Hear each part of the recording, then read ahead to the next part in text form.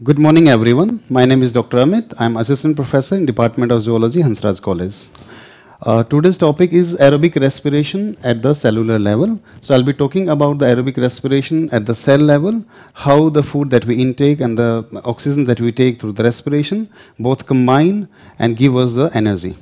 So I'll be talking about the aerobic respiration with context to different topics and these are the glycolysis. Then we'll be talking about the Krebs cycle, then the shuttle systems, and at last we'll be talking about the oxidative phosphorylation via ETC, that is electron transport chain. So first we will talk about the overall, overall view of the cellular respiration, that is the aerobic respiration. So basically whatever food that we intake in our body basically contains three type of biomolecules, that is the amino acids, fatty acids and glucose. So these are the main uh, biomolecules which are present in the food that we intake. So these biomolecules enter the cell in the form of acetyl coenzyme A or they enter directly uh, the glucose enters the cell, it is converted into acetyl coenzyme A via the process which is called as glycolysis, that is breakdown of the glucose. Now, so this is the main pathway where most of the carbon skeleton is present in the form of glucose. The rest amino acids and fatty acids are also broken down into the acetyl coenzyme A and then they undergo citric acid cycle where the acetyl coenzyme A combined with the citrate and then in a sequence of uh, chemical reactions CO2 is produced along with that uh, different energy forms that is NADH and FADH2, GTP or ATP are also produced. So NADH and FADH2 here are the reduced electron carriers which contain the electrons up to the electron transport chain. In the last step, all the energy which is produced in the form of NADH along with the FADH2 enters the electron transport chain and then the ATP is produced. So, uh, so this is the overall view of the cellular respiration. So, we'll be taking each, each one starting from the glycolysis, then the citric acid cycle and last we'll be taking the electron transport chain. So, if we talk about the glycolysis, so glycolysis is uh, the process in which a molecule of glucose is degraded in a series of enzyme catalyzed reactions which yields two molecules of the three carbon compound pyruvate. So basically glucose which is a six carbon compound is broken down into three carbon compound that is pyruvate. So the two molecule of three carbon compound pyruvate are produced from the one molecule of glucose. And during the sequential reaction of the glycolysis, some of the free energy released from the glucose is conserved in the form of ATP and NADH. Now, glycolysis is an almost universal central pathway of the glucose metabolism. So, this pathway has the largest flux of the carbon in most of the cells. That is why, first of all, we are taking the glycolysis. So, if we talk about the different phases of the glycolysis, so there are two phases of glycolysis, preparatory phase and the payoff phase. So, in the preparatory phase, 6 carbon compound is first broken down into 3 carbon compound, glyceraldehyde 3 phosphate, and then the two molecules of glyceraldehyde 3 phosphate further enters the payoff phase where the energy is generated in the form of ATP or NADH. So this is the preparatory phase or the first phase of the glycolysis in which as we can see this is the glucose molecule. So as it enters the glycolysis in the first reaction glucose is converted into glucose 6-phosphate and the enzyme which is acting is the hexokinase. So in the presence of the hexokinase, glucose is converted into glucose 6-phosphate. That means at the 6th position of the glucose, phosphate is attached. So this is glucose 6-phosphate. Here, one ATP is utilized, so ATP is converted into ADP and the phosphate released from the ATP is attached at the 6th carbon position of the glucose. That's why it is called as glucose 6-phosphate. Now, uh, you must notice that this particular reaction is irreversible reaction. Rest of the reactions except the few are the reversible. So, I will be along with the cycle, along with the pathway, I will be mentioning the irreversible reactions. Now, this glucose 6-phosphate is further converted into its isomer, which is the fructose 6-phosphate. And the enzyme used is phosphohexose isomerase. So, in the presence of this enzyme, glucose 6-phosphate is converted into fructose 6-phosphate. Now this fructose 6-phosphate further converts into fructose 1,6-bisphosphate. That means in the fructose molecule, the phosphate group is attached at the first carbon uh, as well as at the sixth carbon as well.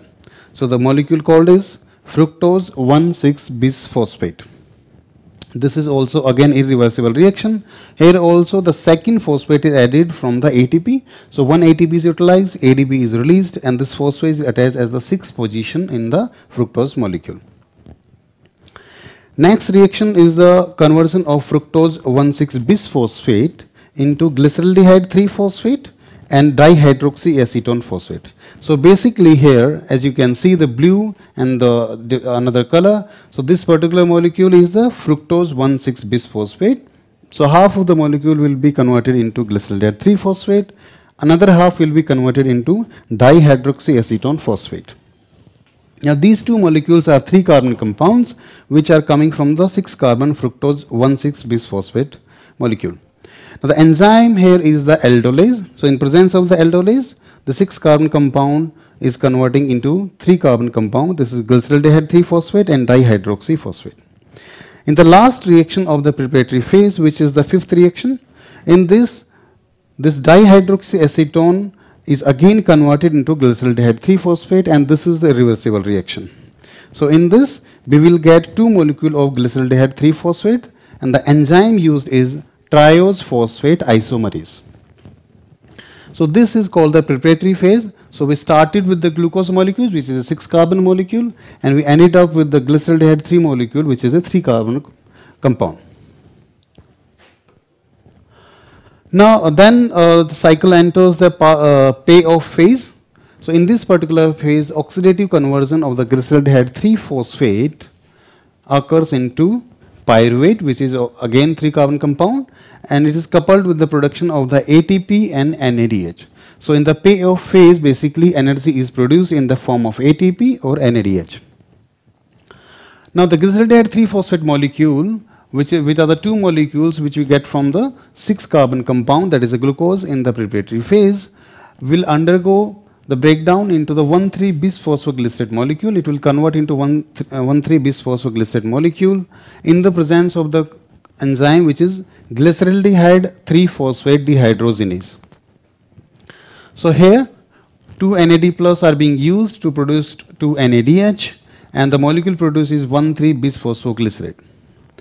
Another thing which is uh, that we have to keep in mind in the payoff phase is that we got two molecule of glyceraldehyde 3-phosphate from one molecule of glucose in the preparatory phase. So here all the steps will have two molecules. Okay, so the NADH produced or the any kind of energy produced is also doubled and all the molecules produced are also doubled. So here you can see the two which is written in front of each and every molecule. Next reaction, now 1,3-bisphosphoglycerate, this particular uh, molecule will be converted into 3-phosphoglycerate. Okay, so here we can see on the bisphosphoglycerate, so two molecule of phosphate are attached. Now one is, so one molecule of phosphate will be taken up by ADP and it will be converted into ATP and there will be only one phosphate molecule, so it will be now called as 3-phosphoglycerate. This is the step which is also called as substrate level phosphorylation. So basically phosphorylation of ADP directly from the substrate that is why we are calling it as substrate level phosphorylation or substrate level ATP synthesis. So again here two molecule of ATP are synthesized. Further, this 3-phosphoglycerate will undergo mutation and it will be converted into 2-phosphoglycerate in the presence of the enzyme phosphoglycerate mutase. Now this 2-phosphoglycerate will further undergo and it will convert into phosphoenol pyruvate PEP in the presence of the enzyme that is enolase. At the last step, which is again irreversible step, in the presence of the enzyme pyruvate kinase, phosphoenol pyruvate will be converted into two molecule of pyruvate. Here, this is again the example of substrate level phosphorylation, where the ATP is formed by using the phosphate uh, group from the substrate directly, and the ADP along with the phosphate combines to form two molecule of ATP again. So in the payoff phase, what we saw is the production of total of 4 ATP and 2 NADH. But as we already know, 2 ATP we have already consumed in the preparatory phase. So the net production is the 2 ATP and 2 NADH. Now, if we talk about any uh, biochemical or the metabolic pathway, so it must be regulated at different levels. So without the regulation, no pathway works in the metabolic process. So if we talk about the regulation of the uh, glycolysis, so basically uh, we studied three basic steps which were irreversible. First was the conversion of glucose to glucose 6-phosphate by the presence of the enzyme hexokinase. Another one was the enzyme phosphofructokinase 1, PFK1, and the last was the, uh, at the conversion of phosphoenol pyruvate, PEP, into pyruvate, and the enzyme used was the uh, pyruvate kinase. So these three steps were irreversible, and these three enzymes are very crucial. So the regulation of the glycolysis uh, at the overall, overall level will be done at these three levels or by regulating these three enzymes. So if we talk about the hexokinase, so hexokinase 4 basically, so this is basically regulated by the nuclear protein. So its regulatory protein is a nuclear protein. So uh, basically uh, the concentration of the hexokinase which converts glucose into glucose 6-phosphate depends on the concentration of the glucose which is present in the blood capillaries. So for example, if the glucose concentration increases in the blood capillaries, so this particular hexokinase 4 is present in the liver. So as the glucose concentration increases, it is taken up by the GLUT2 transporter, it enters the liver and it enhances the dissociation of the hexokinase 4 from the regulator protein. So as the hexokinase 4 dissociates from the regulator protein, it enters the cytoplasm and from the nucleus it comes to the cytoplasm and in the cytoplasm it converts glucose into glucose 6 phosphate and further into fructose 6 phosphate. In case if the fructose 6 phosphate concentration increases, it reverses the process. So as the fructose 6 concentration increases, here the green triangle is showing the regulation in the positive manner. So hexokinase 4 again enters the nucleus and it combines with the regulatory protein and its function is masked. That's how the concentration or the activation of the hexokinase 4 enzyme is regulated with reference to the concentration of the glucose into the blood capillaries. Second enzyme that we studied was the phosphofructokinase 1. So as we can see from this, phosphofructokinase 1 or PFK1 basically converts fructose 6-phosphate into fructose 1,6-bisphosphate in the presence of ATP. So there are different molecules which will be enhancing the particular reaction or enhancing or regu uh, positively regulating and few will be negatively regulating. So for example, AMP and ADP, which are showing with the green triangle, so these particular molecules will act as a positive regulator for the PFK1. Same with the fructose 2,6-bisphosphate molecule. So the fructose 2,6-bisphosphate molecule will also give the positive regulation to the PFK1 regulation while uh, the opposite will be done with the help of ATP or the citrate. So for example, if the ATP concentration has been increased or the citrate concentration increases, so it will uh, give the negative regulation to the PFK1 and this conversion of glucose 6-phosphate to fructose 1,6-bisphosphate will be halted. Now coming to the third enzyme which is at the 10th step or the last step where the phosphoenol pyruvate is converted into pyruvate. So the enzyme uh, used is pyruvate kinase. Now pyruvate kinase is basically has two forms, active and the inactive form. So the active form is without the phosphorylation and the inactive form is by using the phosphorylation. So once the pyruvate kinase enzyme is phosphorylated, it becomes inactive. Okay, in the liver cell. So uh, when we need to convert PEP into the pyruvate, dephosphorylation occurs by using the H2O and inorganic phosphate is removed and that's how it is dephosphorylated and this is the active pyruvate kinase. It acts on the PEP and it converts it into the pyruvate which is the last step. And in this process one ATP is again synthesized. If we talk about the reverse process, if we don't want to convert PEP into the pyruvate or for example pyruvate concentration or the alanine concentration has already increased, so the reverse process will occur now this pyruvate kinase will be phosphorylated by the help of glucagon and one ATP will be used. So due to the phosphorylation of the pyruvate kinase, now it converts into the inactive form and that's how we regulate the conversion of PEP into the pyruvate with the help of pyruvate kinase enzyme. So this is the first step of the aerobic respiration that, cover, that we cover the glycolysis. Now, uh, this was the one main type of sugar that, uh, that we used or that we daily use in our intake in the food. There are another different type of uh, carbohydrates or the sugars which are present in our body that we intake in the food. So these are uh, trehalose or lactose or sucrose or fructose or stored form of the uh, carbohydrate is the glycogen or the starch in or uh, D-galactose or D-mannose. So these are also different type of uh, sugars that we intake in our food. So these or uh, these all are interlinked to each other and they are coming and uh, ending at the glyceraldehyde 3-phosphate molecule. So for example, if we talk about the sucrose, which contains the D-glucose and the fructose, now further this fructose is converted into fructose 1-phosphate by fructokinase and this fructose 1-phosphate is further convert converted into glyceraldehyde and dihydroxy acetone phosphate, which, is, which are the three carbon molecules. Now these glyceraldehyde and dihydroxyacetone are further converted into glyceraldehyde 3-phosphate. So this is again the last step of the uh, preparatory phase of the glycolysis and from here the payoff phase starts and it ends in the pyruvic acid. Similarly, D-glucose which is converted to glucose 6-phosphate and glucose 6-phosphate is again converted to fructose 1,6-bis phosphate via fructose 6-phosphate and it is again ending up into glyceraldehyde 3-phosphate. So this is again coming to the 3 carbon molecule which is the last step of the preparatory phase of the glycolysis.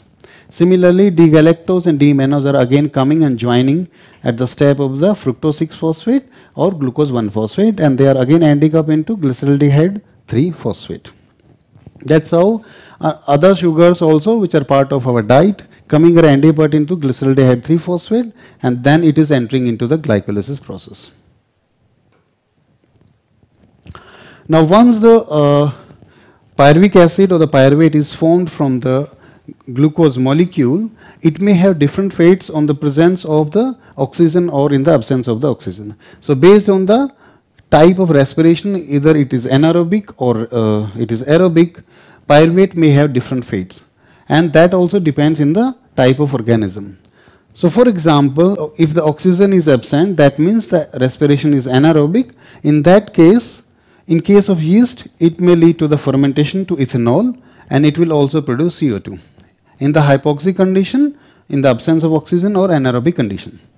Similarly, again in the anaerobic condition, in case of the contracting muscle fibers or in erythrocytes or in some other cells, it may convert into lactate or the lactic acid.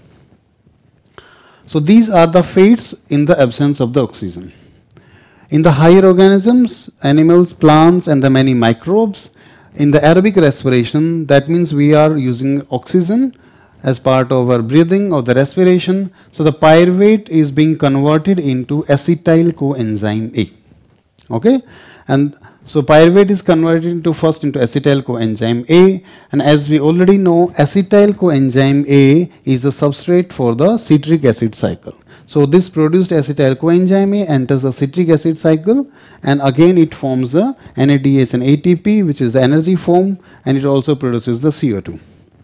And then all the energy form which is present in the form of NADH or FADH2 finally enters the ETC. So first we will see the uh, conversion of pyruvate to acetyl coenzyme A and then acetyl coenzyme A will be further entering into the citric acid cycle. So if we talk about the production of the acetyl coenzyme A, so before entering the citric acid cycle, the carbon skeleton of the sugars, the fatty acids are degraded to the acetyl group of the acetyl coenzyme A, the form in which the cycle accepts most of its fuel input. So citric acid cycle takes its input in the form of acetyl coenzyme A. That is why we are converting glucose, so that is pyruvate that we got from the glucose uh, breakdown by glycolysis into the acetyl coenzyme A. Now this overall reaction basically contains pyruvate dehydrogenase complex enzyme. It is a complex of different subunits of the enzyme and it undergoes oxidative decarboxylation process, an irreversible oxidation process in which carboxyl group is removed from the pyruvate okay, as a molecule of CO2 and the two remaining carbon becomes the acetyl group of the acetyl coenzyme A. So basically this shaded area which contains this uh, COO group is being removed in the form of CO2. The rest two carbon are combining with the coenzyme A with the help of the thiol group and it is forming the acetyl coenzyme A. So here the pyruvate is being converted into acetyl coenzyme A. The enzyme used is the pyruvate dehydrogenase complex which is a complex of the different subunit of the enzyme and these subunits are E1, E2 and E3. There are different type of cofactors which are being used along with this particular enzyme to, en to enhance the efficiency and to carry out the reaction. And these are TPP, that is thymine pyrophosphate, FAD, flavin adenine dinucleotide, NAD, nicotinamide adenine dinucleotide, COASH, which is the coenzyme A along with the thiol group, and the lip lipolate, which is the lipoic acid. So these are the five cofactors which are being used along with the pyruvate dehydrogenase complex to carry out or to convert pyruvate into acetyl coenzyme A. Now this acetyl coenzyme A is ready to enter the citric acid cycle. So citric acid cycle or the tricarboxylic acid cycle or the Krebs cycle. So basically the Krebs cycle, the name is given after its uh, discovery which was discovered by Hans Krebs. So citric acid cycle is a nearly universal central catabolic pathway in which the compound derived from the breakdown of the carbohydrates, fats and the proteins are oxidized to CO2 with most of the energy oxidation temporarily held in the electron carriers which are FADH2 and the NADH2. So basically what happens the food that we intake it may contain the carbohydrate, it may contain the fat and the protein. First it is converted into acetyl coenzyme A which is the accepted form of the these carbohydrate, fat and proteins or the diet which enters the citric acid cycle. Now these are oxidized into CO2 molecule. Along with that energy is trapped temporarily in the electron carriers which are FADH2 and NADH. Now acetyl coenzyme enters the citric acid cycle. So in case, uh, so the location of the citric acid cycle differs in the eukaryotes and the prokaryotes. So for example, in eukaryotes, it is occurring in the mitochondria, while in prokaryotes, it is occurring into the cytosol. So the acetyl coenzyme enters the citric acid cycle, it combines with the citrate and it, the synthase catalyzes its condensation with the oxaloacetate to form citrate. Okay. So basically acetyl coenzyme A combines with the oxaloacetate in the presence of citrate synthase enzyme and is converted into citrate. Now in continuity with that in the seven sequential reactions which also includes two decarboxylation that means CO2 is produced at two steps citric acid cycle converts citrate into the oxaloacetate and two CO2 are released. Now for each acetyl coenzyme A which is oxidized by the citric acid cycle, energy gain consists of 3 molecule of NADH, 1 molecule of FADH2 and 1 ATP or GTP. So this is the overall citric acid cycle. As we can see, acetyl coenzyme A which is entering the cycle, it is combining with the basically it is undergoing the condensation, it is combining with the oxaloacetate in the presence of citrate synthase and it is forming citrate. Now citrate is ag again undergoing a dehydration and it is forming an intermediate compound which is called as cis-aconitase. Now cis-aconitase is uh, again converted into isocitrate. This isocitrate then undergoes oxidative decarboxylation and it is being converted into alpha ketoglutarate and one molecule of NADH is produced. Again, this alpha ketoglutarate in the presence of alpha ketoglutarate dehydrogenase complex is converted into succinyl coenzyme A and again one NADH is produced. Now this succinyl coenzyme A is converted into succinate and one GTP or ATP is produced and this is again a substrate level phosphorylation reaction where the phosphate group for the formation of the ATP is being taken directly from the substrate which is the succinyl coenzyme A. Now further the succinate is being converted into the fumarate and here also the energy from which is released is FADH2. The fumarate is converted into malate in the presence of the enzyme which is fumarase. Now malate is converted into oxaloacetate by dehydrogenation and again one NADH is produced in the presence of the enzyme malate dehydrogenase and now this oxaloacetate is again available for the combining to the acetyl coenzyme A and the cycle repeats again. So from this overall reaction of the citric acid cycle, what we got is a three NADH molecules, one FADH2 molecule and one GTP or ATP molecule. So these are the different forms of the energy that we got. Along with that, two molecules of CO2 are also produced. Now, if we talk about the regulation of the citric acid cycle, so there are different molecules. So, if it is showing the cross in the red color, that means these are inhibiting or these are putting the negative regulation. And which are showing in the uh, green triangle, so these molecules are enhancing the particular reaction or which are putting the positive regulation. So, pyruvate is first converted into acetyl coenzyme. So, these are the molecules, there is ATP, acetyl coenzyme, NADH or fatty acid. So these are inhibiting this reaction while AMP, coenzyme A, NAD plus and calcium ions are enhancing this particular reaction.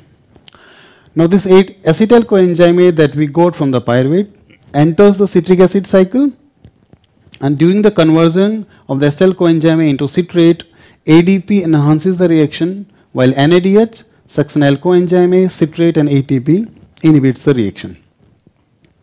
Next reaction uh, where we can regulate this cycle is the conversion of isocitrate into alpha ketoglutarate where ATP is inhibiting this reaction, calcium ions and ADP are enhancing this reaction. Next is conversion of keto, alpha ketoglutarate into the succinyl coenzyme A, where succinyl coenzyme A and NADH are inhibiting this reaction, calcium ion is enhancing this particular reaction. And if we talk about the overall energy production that we already talked, so this is basically production of one NADH, second NADH and third NADH, one molecule of FADH2 and one molecule of GTP or ATP. So uh, this was a breakthrough discovery. So Nobel Prize in Physiology and Medicine in 1953 was awarded to Hans Krebs for his discovery of the citric acid cycle. And this particular Nobel Prize was shared by another scientist, Fritz Lipmann, for his discovery of the coenzyme A and its importance for intermediary metabolism. If we talk about the stereochemistry of the coenzyme reactions, that how many uh, ATP, how many NADH and how many FADH2 are being produced at different steps starting from the glycolysis and uh, then the uh, acetyl coenzyme A formation and then the citric acid cycle. So Starting from glucose to glucose 6 phosphate, 1 ATP is being used in the preparatory phase. So this is minus 1. Then fructose 6 phosphate is being converted into fructose 1,6 bis phosphate. So again 1 ATP is used. So 2 ATP are consumed in the preparatory phase of the glycolysis. Now in the second phase which is the payoff phase, two molecule of glyceraldehyde 3-phosphate are converted into two molecule of 1,3-bisphosphoglycerate and here two NADH are being produced.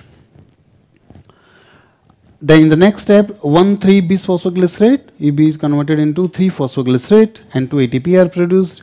Then PEP is being converted into pyruvate at the last step of the glycolysis and the last step 2 ATP are again produced. If you talk about the link reaction where the pyruvate is being converted into acetyl coenzyme A, here also two NADH are produced. Then if you talk about the citric acid cycle, so during the conversion of isocitrate to alpha ketoglutarate, two NADH are produced and the conversion of succinyl coenzyme A to succinate, again two NADH are produced. Then during the conversion of succinate to fumarate, again two FADH2 are produced and during the conversion of malate to oxaloacetate to NADH are produced. So in total if we count the number of ATP by conversion of the ATP into uh, the conversion of the NADH and FADH2 into ATP we got total of 32 32 ATP. Now as we can see from this table during the conversion of glyceraldehyde 3 phosphate to 1,3-bisphosphoglycerate 2 NADH are produced which are showing either the production of 3 molecule of ATP or the production of the 5 molecule of ATP. So basically the difference of the two molecule, so this has been also reflected in the totality, that is production of the 30 or 32 molecule. So there is a gap of two molecule of ATP and that is because of the, it depending on the difference in the mechanism that is being used to shuttle NADH equivalent from the cytosol to the mitochondrial matrix.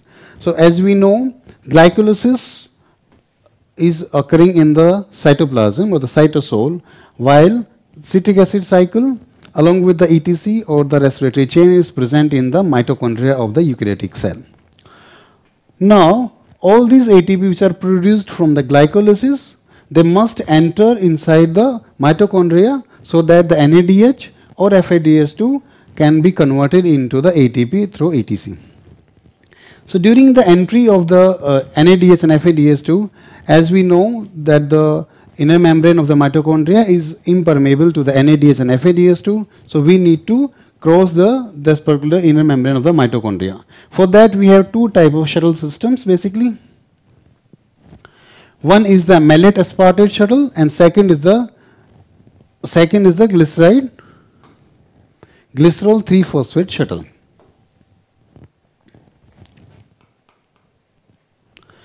So uh, in case of malate aspartate shuttle, NADH dehydrogenase, that is the complex 1 of the inner mitochondrial membrane of the ETC of the animal cell can only accept electron from the NADH in the matrix. So given that the inner membrane is not permeable to NADH, how can the NADH generated by the glycolysis in the cytosol be reoxidized to NAD by O2 via the respiratory chain? So this is possible because of the presence of the malate aspartate shuttle. So the special shuttle system carry reducing equivalent from cytosolic NADH into the mitochondria by a indirect route. So the most active NADH shuttle known which occurs in the liver, kidney and the heart mitochondria is the malate aspartate shuttle. So this is the inner mitochondrial membrane, this is the intermembrane space and this is the matrix. So here as we can see, malate is formed from the oxaloacetate and here one NADH is being converted into NAD+. plus, And this malate is entering the inner membrane of the mitochondria via malate alpha ketoglutarate transporter. Along with that, one molecule of the alpha ketoglutarate is going in the opposite direction through the same transporter. So basically this is the antiporter where one molecule of malate is being transferred towards the matrix and one molecule of the alpha ketoglutarate is being transferred into the inner membrane space. Now this malate, malate again converts into oxaloacetate by using malate dehydrogenase and this NAD plus again converts into NADH. So as we can see this NADH which is present in the intermediate space now is present into the matrix with the help of the malate. Now this oxaloacetate again is converted into aspartate and aspartate again crosses the inner membrane from matrix to the inner membrane space via glutamate aspartate transporter. Now this glutamate aspartate transporter is again also antiporter where one molecule of glutamate again goes in the opposite direction from the intermembrane space into the matrix. Now this aspartate once in, comes into the intermembrane space is again converted into oxaloacetate by aspartate aminotransferase. Now oxaloacetate is again ready to take up the NADH to be transferred inside the matrix. That's how NADH molecule are indirectly transferred with the help of malate from the intermembrane space into the matrix via malate alpha ketoglutarate transporter. Now, in case of skeletal muscles or brain, it uses a different NADH shuttle that is the glycerol 3-phosphate shuttle. It differs from the malate aspartate shuttle in that it delivers the reducing equivalent from NADH to ubiquinone and thus into the complex 3 but not on the complex 1. So providing only enough energy to synthesize 1.5 ATP molecule per pair of electrons. We'll see later how these 1.5 ATP molecules are being produced from the 1 FADH2 and how 2.5 ATP are being produced from the NADH molecule. Now because this pathway bypasses the NADH dehydrogenase of the complex 1 and the associated proton movement, so the yield of the ATP from the cytosolic NADH is less than from the NADH generated into the matrix. So this is the glycerol 3-phosphate shuttle. As we can see from the glycolysis we got NADH. Now this NADH is being converted into NAD plus along with the conversion of dihydroxyacetone phosphate into glycerol 3-phosphate and the enzyme being used is cytosolic glycerol 3-phosphate dehydrogenase. Now this glycerol 3-phosphate is again converted into dihydroxyacetone phosphate by the mitochondrial glycerol 3-phosphate dehydrogenase. So this was the cytosolic enzyme, this is the mitochondrial enzyme through which now these electrons which are taken from the NADH are being used in conversion of FAD to FADH2. So as we can see from cytosol it was NADH but when it enters the cell or it enters the mitochondria of the cell it is now the FADH2 which then goes to the ubiquinone and further into the complex 3. So one thing that we can notice from this particular uh, shuttle system is that there is absence or there is the bypass of the complex 1. So the NADH basically enters the complex 1 first while FADH2 enters directly into the ubiquinone and then into the complex 3. Now, uh, once the F NADH and FADH2 both type of the energy forms, once they enter the matrix of the mitochondria of a cell, now they undergo the process which is known as oxidative phosphorylation, where it is the process by which ATP is basically synthesized and it is coupled with the movement of the electrons through the mitochondrial electron transport chain and associated consumption of the oxygen. So basically what occurs is the inner, into the inner membrane of the mitochondria, there are different electron carrier complexes. So these carrier complexes combine to form the ETC electron transport chain which is also known as a respiratory chain. So as these molecules of the uh, NADH and FADH2 which comes in contact with the ETC, these are being ox uh, oxidized. So these are the reducing equivalent in the form of NADH and FADH2. These are oxidized producing the protons and the electrons.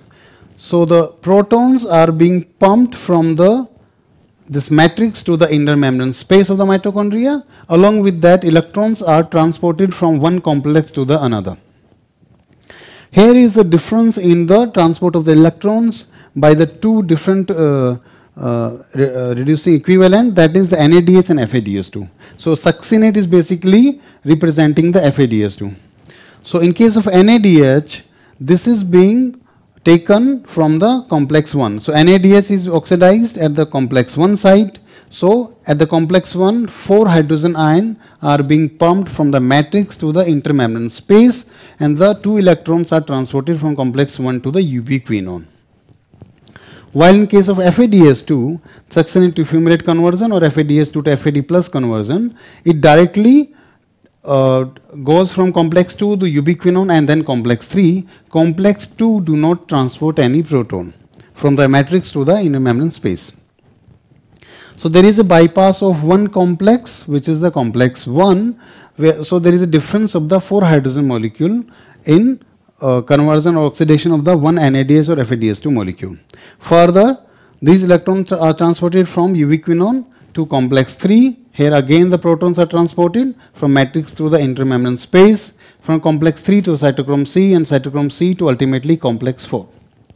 Once the electrons are at the complex 4, so the uh, the final acceptor of the electrons is the oxygen molecule that the oxygen that we intake by the breathing or the respiration exercise. So these electrons combine with the two hydrogen and half O2 to form H2O. That's how a molecule of water is produced by using the oxygen that we respire along with the electrons which are coming from the reducing agent which are the NADH and the FADH2. Now, so this is basically the electron transport chain where the electron transport is being shown. Now the question comes how the ATP are being produced from the NADH and FADH2. So Before going into the detail, we will uh, look into the different type of electron carrier complexes of the ETC, that is the 1, 2, 3 and 4. One complex 1 which take up NADH, so called as NADH dehydrogenase. Second is succinate dehydrogenase, which take up FADH2. Then ubiquinone cytochrome C oxidoreductase and then cytochrome oxidase. These have different masses in kilodalton. These have different number of subunit which combine to form these complexes and these have the different prosthetic groups which helps in their functioning. Now to understand the uh, production or the synthesis of the ATP, we'll have to first study the chemiosmotic theory which was given by Peter Mitchell in 1961. So basically this was to study the mechanism of oxidative phosphorylation and to study the production of ATP from NADH and FADH2. So during the transport of electrons from, a, from the reducing equivalent NADH and FADH2, protons are being transported from matrix into the inner membrane space of the mitochondria. So as we know, when the protons will be transported, so here will be the pool of the protons and there will be more positive charge from the outside and negative charge in the inside. Due, due to the transport of the protons, there is a change in the pH also. So there is a pH gradient. So this is a chemical gradient and there is a electrical gradient, electrochemical gradient. So electrical gradient is the difference in the charge, positive and negative, and the chemical gradient is change in the pH. So these two chemical potential or the chemical gradient and the chemical uh, and the electrical potential combine. And because of this combination there is a there is variation or there is a variation in the charge and the pH which leads to the again according to the electrochemical nature these protons must enter the matrix again. So, but there is no uh, particular transporter or there is no particular space to enter the protons from the intermembrane space into the matrix as the inner membrane of the mitochondria is impermeable to the protons. So how the protons again or the hydrogen ions again enter the mitochondrial matrix? So they does by the help of the complex 5 for ATP synthase, specifically the F naught part of the ATP synthase. So actively these protons enter into the matrix via F naught and during this entry by the rotational catalysis mechanism, ATP is synthesized. We'll look into the detail of the ATP synthesis further. So basically the chemiosmotic theory says that because of the difference in the pH and the electrical charge, the protons which are present in the inner membrane space tries to again enter the cytosol to maintain the electrochemical potential and for that they, and they come through the ATP synthase and that's how the ATP is produced. Now before going into the ATP synthesis and the detail of the ATP synthase complex, we'll first have to study the structure of the ATP synthase or the ATPase complex. So mitochondrial ATP synthase is a F-type ATPase which is similar in structure and mechanism to the ATP synthase of the chloroplast and the eubacteria. Now the large enzyme complex of the inner mitochondrial membrane catalyzes the formation of ATP from the ADP and PI accompanied by the flow of proton from the positive to the negative side of the membrane. Now ATP synthase which is also known as complex 5 has two distinct components. One is the F1 which is the peripheral membrane protein, another is the F0. So naught or the O is denoting the oligomycin sensitive which is integral membrane protein. So basically F0 part of the ATP synthase is sensitive to the oligomycin antibiotic. Now this is the structure of the ATP synthase. So basically it contains two component F0 and F1. These are the two units and these units further have the subunit. So for example F0 unit of the ATP synthase contains 1A subunit, 2B subunit, 3 uh, or the 9 to 12 C subunit. So as we can see from this diagram, so 9 to 12 C subunits, 1A subunit and 2B subunit these combine, this yellow part combine to form the F naught part, F naught component of the ATP synthase. While in case of F1, 9 subunit of the 5 different type with the composition alpha 3, beta 3, gamma, delta and epsilon. So these are the alpha 3 and beta 3 in alternate fashion. In the center is the rod-like structure, which is the gamma. At the base is the epsilon, and delta is present at the B2 unit of the F naught. That's how these subunit, different subunit of the F naught and F, F1 combine to form the complete ATPase complex or ATP synthase complex.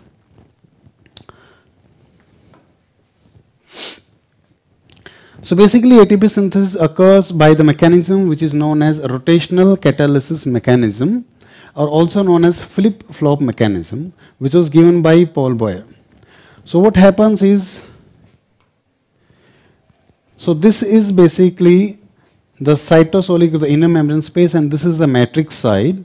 So as the concentration of the proton is high in the intermembrane space, so the protons try to enter into the matrix to maintain the electrochemical gradient and for that the electrons enter between the A and the C subunit of the F naught uh, unit of the ATPase complex. So in the between the A and C subunit hydrogen ions or the protons enter into the F naught and from that this particular C subunit rotates and along with that gamma subunit rotates in between the alpha and beta subunit and into the beta subunit there are different sites that we are going to talk about further.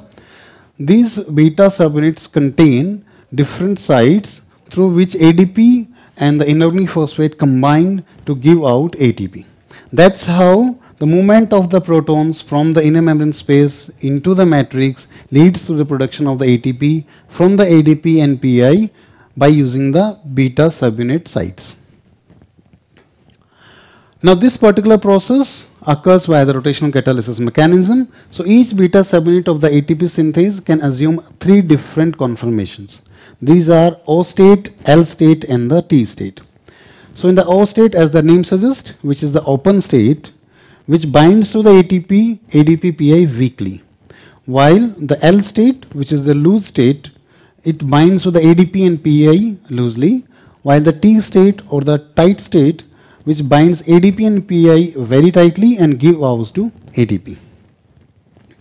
So here we can see, so there is a rotation of 120 degree at one time, at one go, and as we can see, these are the three states. This is the open state or this is the loose state and this is the tight state. So here ATP is going out, here ADP and PI are, are combined and here ATP is being formed.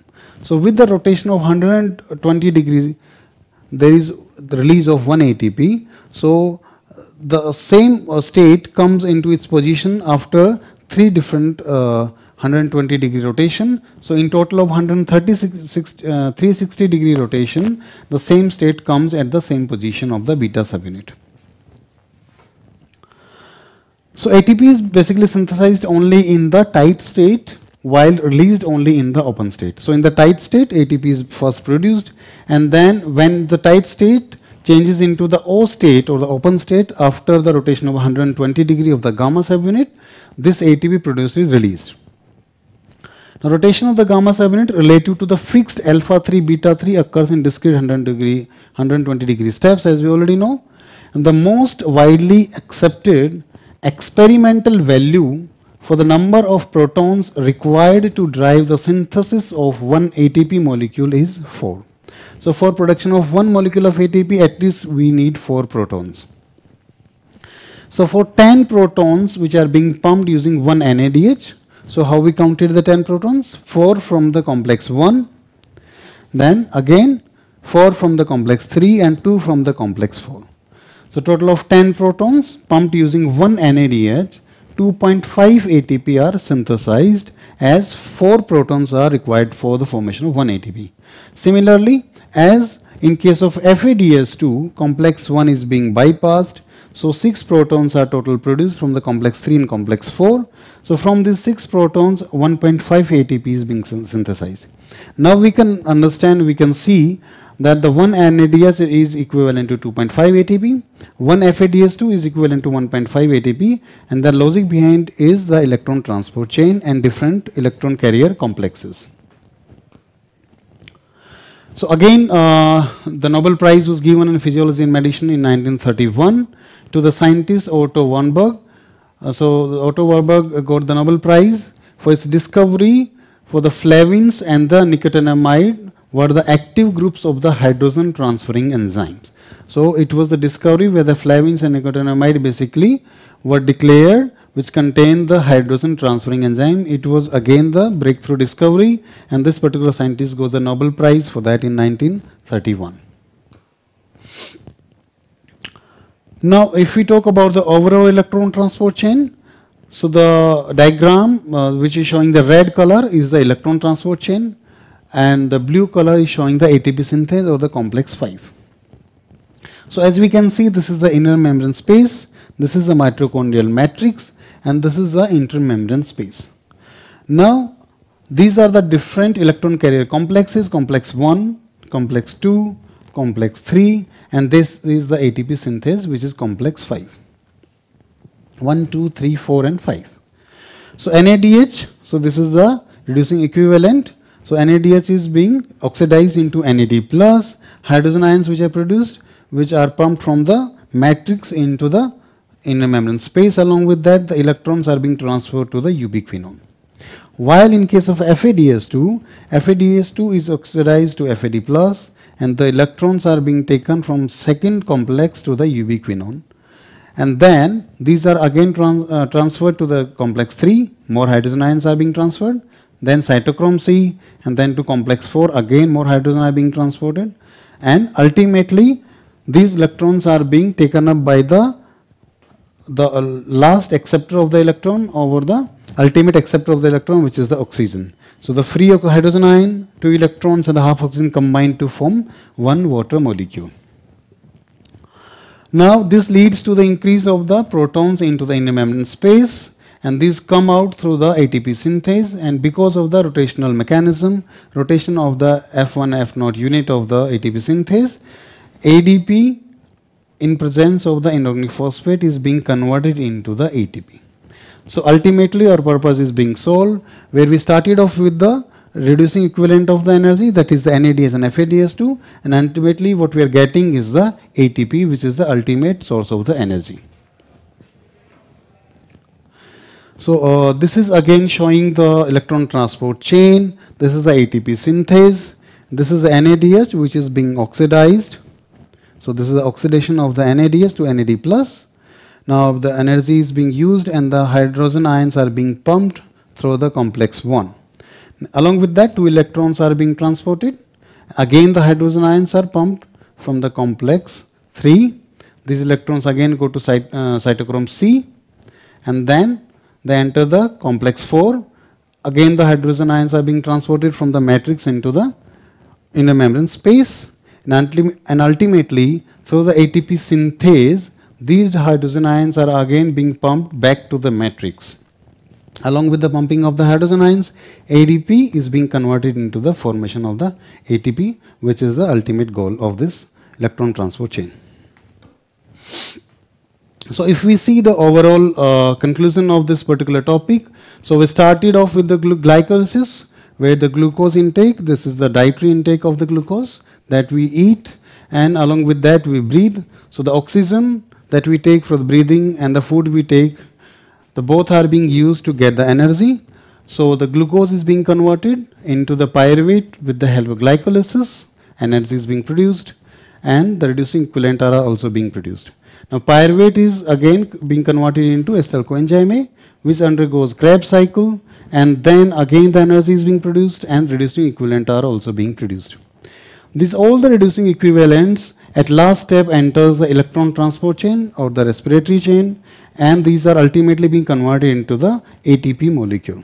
That's how whatever we eat and uh, the oxygen that we breathe that is being converted into the energy or the energy that we get to work for our on the daily basis.